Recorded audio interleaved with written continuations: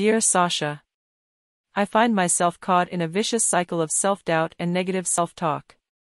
I have allowed others to shape my identity and have become a conformist, living a life that satisfies their expectations rather than my own.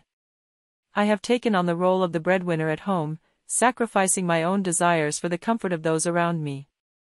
Meanwhile, I feel suffocated by their demands and unfulfilled by my own choices. I have become a slave to the notion that I am lazy, a liar, and living in a world of illusions. I fear becoming like my father, who lives in the past and is trapped by his own self-destructive behaviors. Despite my best efforts, I find myself mirroring his mistakes, seeking comfort in substances and the approval of others. I have created an imaginary world where I play the victim, constantly seeking validation and wallowing in self-pity. But I am determined to break this cycle. I want to take control of my life and build a brighter future for myself. I will strive to challenge my negative thoughts and beliefs and work towards becoming the person I want to be.